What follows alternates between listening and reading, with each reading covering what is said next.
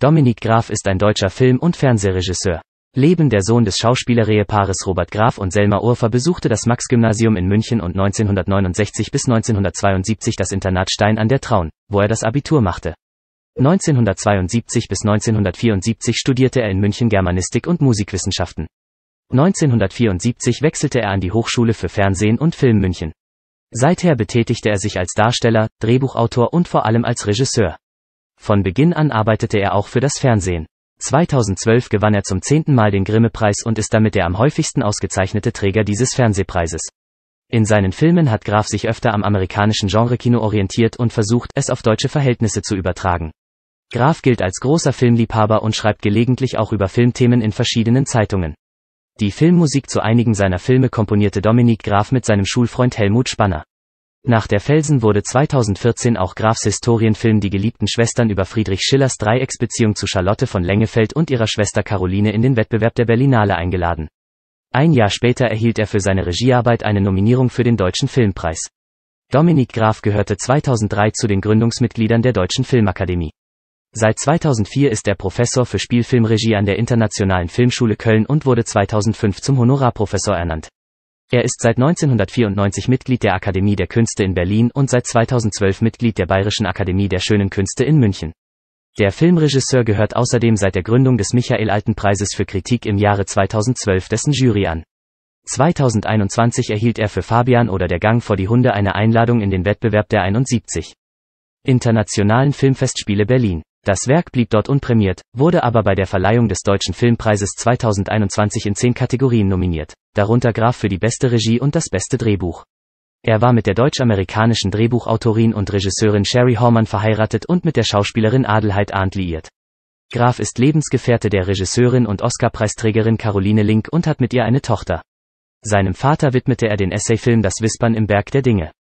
Auszeichnungen 1980, Bayerischer Filmpreis in der Kategorie Nachwuchsregie für Der kostbare Gast, seine Abschlussarbeit an der Filmhochschule 1983, Brussels International Fantastic Film Festival.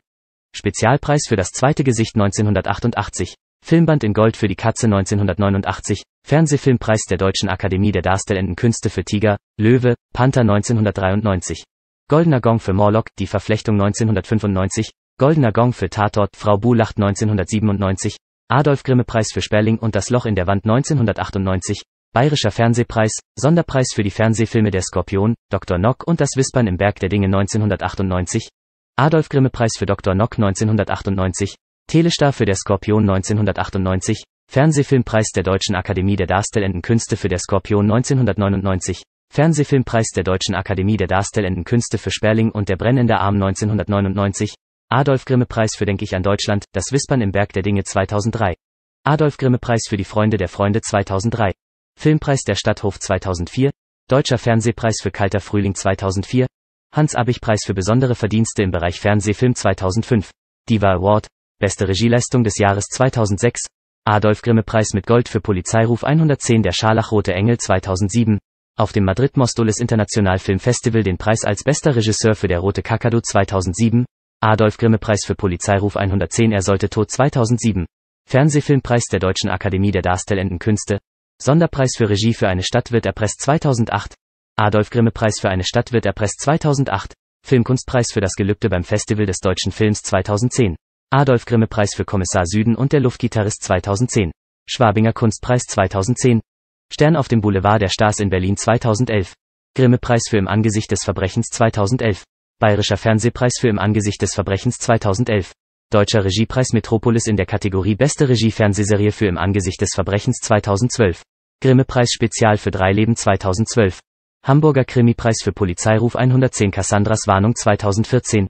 Lita Avision, Fernsehpreis der Landeshauptstadt München für Lawinen der Erinnerung. Ein Film über Oliver Storz.